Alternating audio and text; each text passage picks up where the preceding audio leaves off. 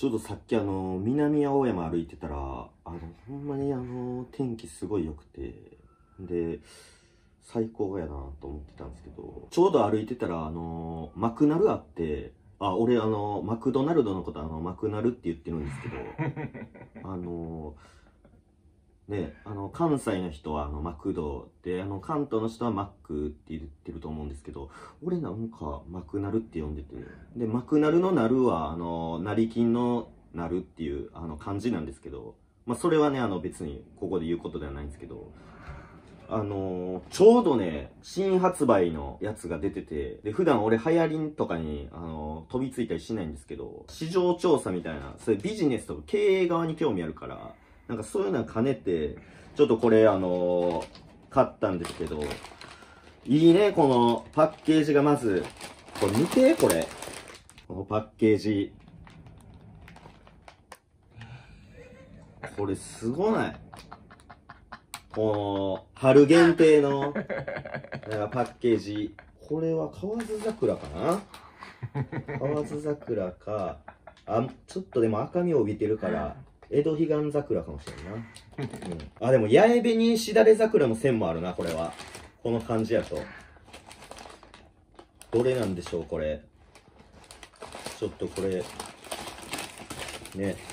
瀬戸内レモンタルタル。フォーク？これあのー、佐藤錦のさくらんぼのやつもあったんですけど、実際さくらんぼって旬7月からなんで、ちょっと間違ってたんで、あの、俺買わなかったです。なんか春みたいなイメージついてましたけど、あの7月というか、まあ6月から7月が、あの、さくらんぼ旬なんで、そこはなんか、ちょっとちゃうなと思って、あの、そこは厳しい目で、ちょっと、あの、買わなかったんですけど。いいね、これ。瀬戸内レモンタルタル。やっぱ瀬戸内レモンっていうフレーズがいいよね、ほんまに。そう、フレーズが好き。味ももちろん好きやし、他のレモンと比べて、あの、ちゃうんですよ。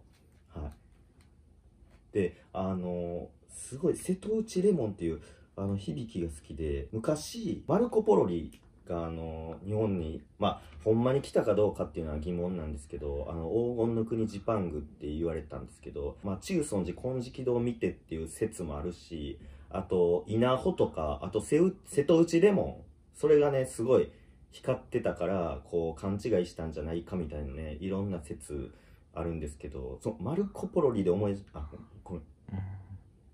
マルコ・ポロリって言ってた俺。マルコ・ポロリちゃうか。マルコ・ポーロか。ごめん。マルコ・ポロリが、あの、すごい反響を買ったから、ちょっと、あの、マルコ・ポーロリ、俺完全にマルコ・ポロリって言ってたよね、今。マルコ・ポーロ、ごめんごめん。完全に、その、反響で、なんかこう、なんかこれ、こなんか、こんな感じになってたから、なんか、この CM またぎでなんか、こんな感じになってたから、ちょっと、すごいなんか、そう、なんかこう、なんか俺がスクショしたみたいになってるのがちょっと嫌やけど、あの、送られてきてね。そうそうそう。なんか送られてきたから、ちょっとあれですけど、そう。マルコ・ポーロや。そうそうそう。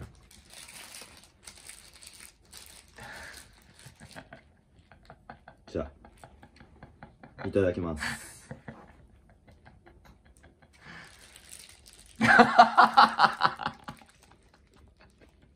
うん。ベリーうまばいや、これは素晴らしいね。こう、一つ一つバラバラなんですけど、味が。こう、レイヤーとなることによって、うんすごい、あの、まとまってる。いや、素晴らしいね、ほんま。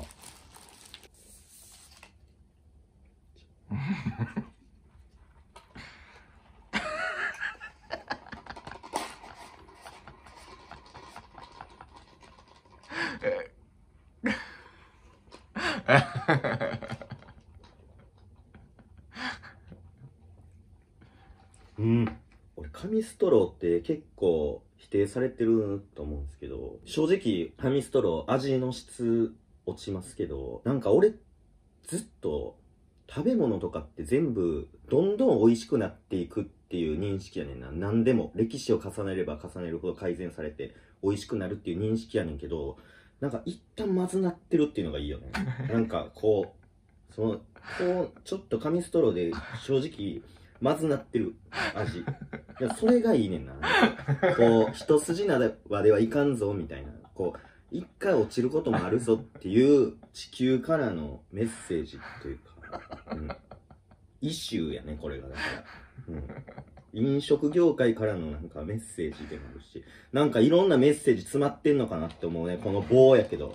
見た感じ棒やけどもうしかも空っぽの中身空っぽスカスカの棒やけどなんかそういうなんか芯みたいなねなんか感じるよね。うん。うん。いやいいねほんまに。うまいわ。うん。うん。てりたま素晴らしいねほんま。これほんま大泉に一郎の卵やね。なんでこんなに美味しいのかよ。卵という名の宝物。いや。確実にそうやこれほんまほんまにうまいしえやじ。うまんつえやじ。坂東英二。ゆで卵でした。ゆで卵先生。ゆで卵先生ってあの誕生日いつですか？って聞いたらいやこれ話長なんでって言ってましたけど その長ならないですよ。その誕生日聞いてるだけなんで。ちゃんとしてください。ごちそうさまでした。